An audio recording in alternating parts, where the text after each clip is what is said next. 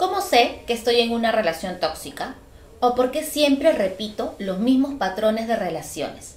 Soy Claudia Tazara y hoy les hablaré sobre qué es una relación tóxica y cómo darnos cuenta que estamos en una.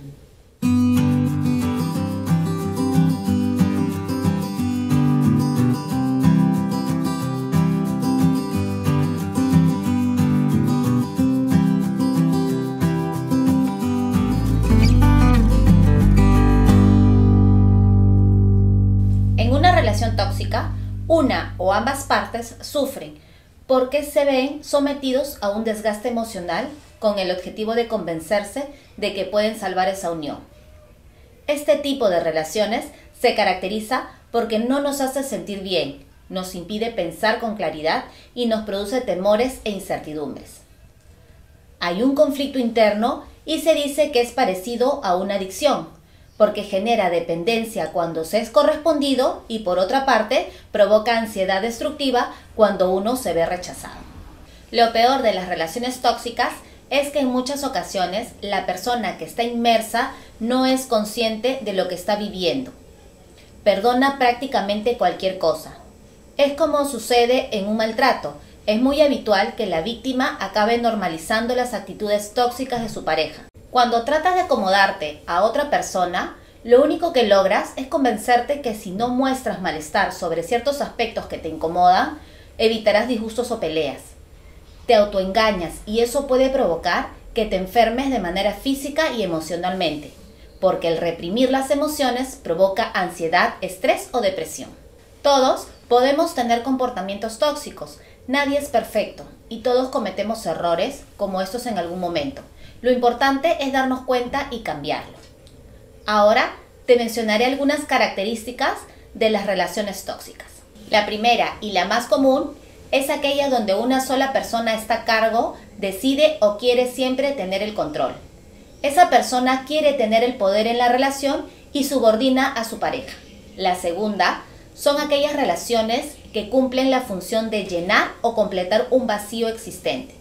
Por ello, es importante que antes de iniciar una relación debemos conseguir sentirnos plenos por nosotros mismos sin que otro sea el encargado de suplir esas carencias. El tercero se caracteriza por ser codependientes. Son aquellas en las que ambos integrantes son pasivos y dependen unos del otro para ser felices. No saben lo que es la individualidad y precisan de la aprobación externa para actuar. El cuarto tipo es sentir idealización o expectativas que exigen una perfección imposible de alcanzar.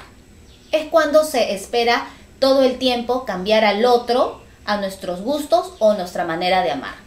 La quinta es por personas que utilizan sus problemas pasados para justificar lo que hacen en el presente. Por ejemplo, soy celoso porque mi ex me engañó. O soy desconfiado porque tuve una infancia de abandono o no me sentí querido por mi madre. La sexta es por personas que basan su relación en la desconfianza y celos, ocasionando conflictos diarios que dañan la autoestima de su pareja.